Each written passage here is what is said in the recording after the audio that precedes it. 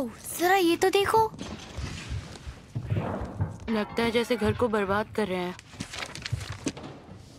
इराक्स book में वापस आ गया। तो इस पोएम का ये मतलब था हमें सारे इरैक्स को रेत खत्म होने से पहले बुक में वापस डालना होगा वरना हम उन जैसे बन जाएँगे। कहीं बनना चाहो इस किताब का पन्ना। देखो आई एम सॉरी लेकिन ये अजीब है।